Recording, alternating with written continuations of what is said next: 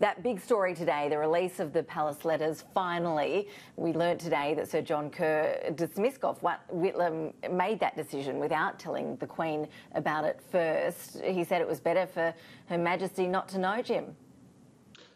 Quite so. Uh, it's very interesting indeed.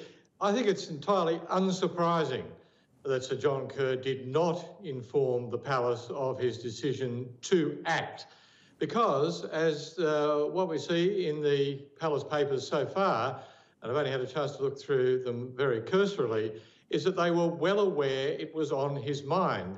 And indeed, there was communication between the palace and Sir John Kerr about this very matter.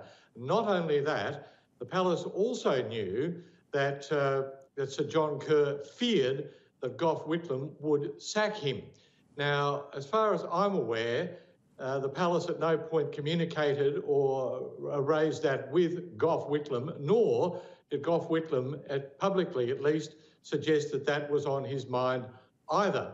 And that letter to which uh, Anthony Albanese was referring of the 4th of November is really, really quite important because while it does acknowledge quite clearly that the Governor General, Sir John Kerr, did have the power to dismiss the elected Prime Minister, it also counselled him in fairly strong terms against only using it in extremis. And I'll quote, if you don't mind, just for a second.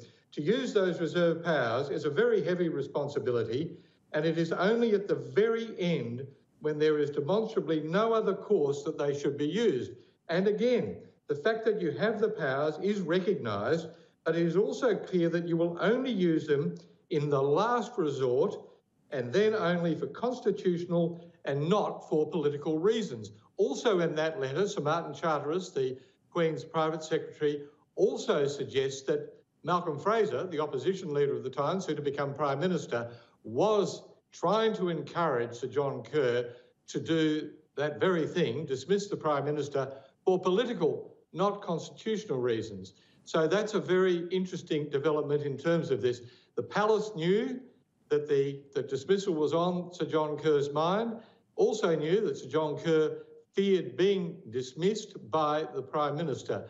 There's also another point that seems to emerge in these early days of looking at these papers, and that is that there's an imbalance, a fundamental imbalance in the relationship between the Governor General, the Queen, and Australia's elected Prime Minister. Uh, and on this occasion, the, uh, the, the, the, the Queen chose to do and observe what the appointed, her appointed representative wanted rather than what Australia's elected Prime Minister desired. The process in the Senate at the time, leading up to November the 11th, 1975, was still underway. Supply had not been granted. The Prime Minister of the day, Gough Whitlam, was proposing a half Senate election.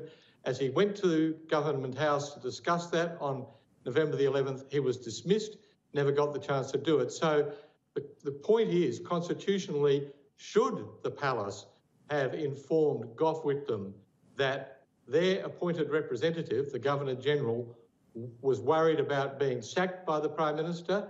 Should they have been informing him that dismissal was an option in some form or another? These are questions for constitutional lawyers and historians, but I do think these are very, very interesting and important developments. We should not have had to wait 45 years until all the protagonists, or most of them, in this are now dead, but they matter very, very importantly for Australia's constitutional future.